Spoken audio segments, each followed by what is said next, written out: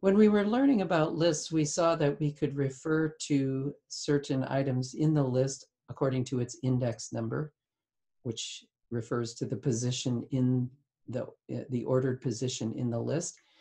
And referring to elements in NumPy arrays is similar.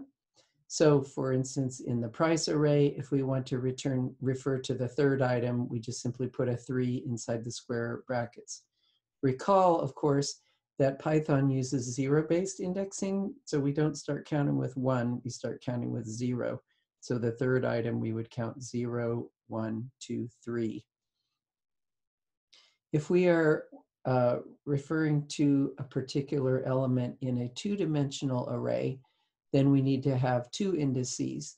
The first index, uh, if we're thinking of this as a table, would represent the row. So again, this is row zero, this is row one.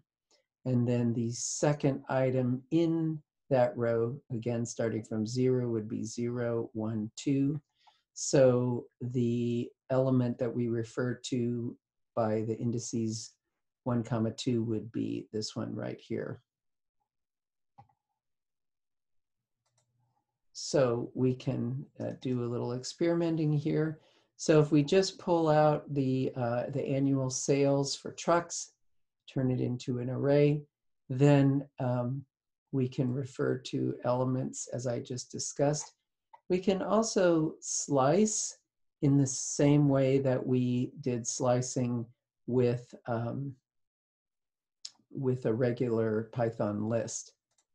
So we can see here that, um, so here's the whole array. And now here's just element number four, zero, one, two, three, four, which would be this one here. If we take a slice from two colon four, recall that the second item, uh, the second uh, range number in the slice is always one more than what we actually get. So this would actually be items two and three. And here we see items two and three. Um, and we also have the option of omitting the final number in the range, and that will just give us from item one to the end of the range. And we see there's item one to the end of the range.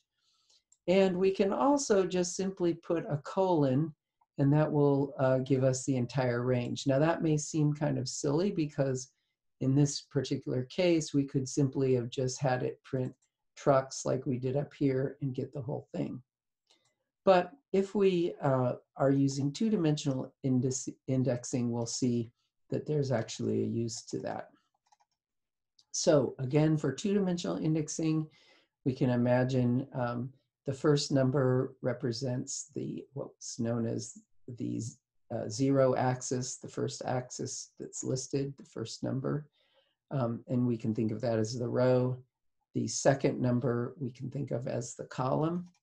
So um, if we print off the entire array, we see it here.